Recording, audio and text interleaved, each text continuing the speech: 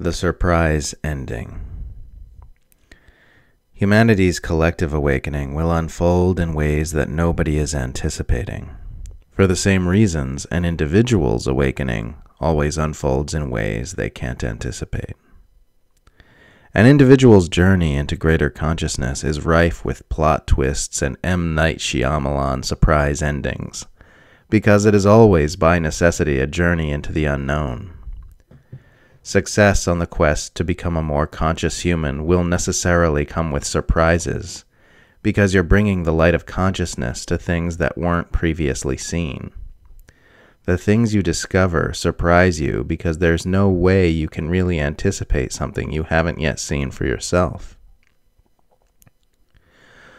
When inner work and therapy begin yielding insights into the underlying sources of one's unhappiness or self destructive behavior, those insights are often accompanied by a sense of surprise as one realizes, for example, that a parent whose actions they'd always believed were normal was in fact abusive and traumatizing, or that an early sexual encounter they'd previously believed was innocent was in fact rape.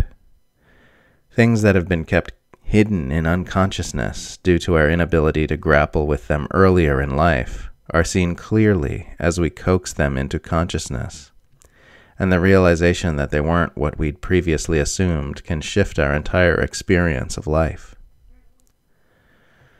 When you get it into your head that you need to find yourself, the sixth sense surprise ending of that hero's journey is that there was never any self to find. People mistake thoughts and the apparent existence of a physical body for a self the identification with which they weave into their psychological functioning and energetic experience of life in early childhood. But through careful investigation, it's possible to come to the jarring insight that no aspect of our experience actually contains an inherent me in it. That it was always an unquestioned assumption which got woven into our habits of cognition and perception early on and that we can consciously unpick those habits from our way of functioning by bringing awareness to the way life is really happening. The surprise twist at the end of the quest for liberation is the realization that true freedom comes from setting life free. That freedom from slavery to one's conditioning and the ability to experience life in its natural boundlessness is only possible with a letting go of all effort to control things to control outcomes, to control our experience, to control others, to control life.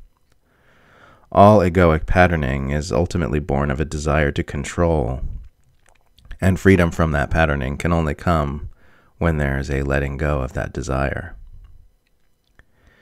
The surprise ending of the search for inner peace is the realization that peace has always been here, closer to you than your own heartbeat.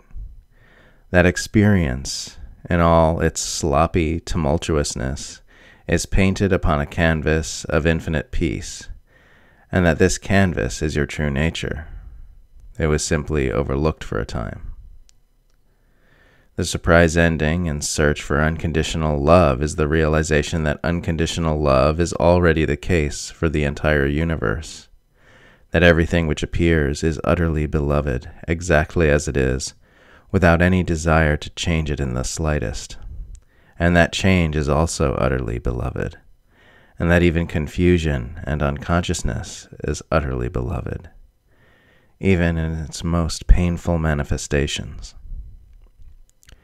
Every positive change in human behavior is always preceded by an expansion of consciousness, whether you're talking about an individual or an entire world but you can never truly know ahead of time what's on the other side of that expansion until it happens, because you're not yet conscious of it.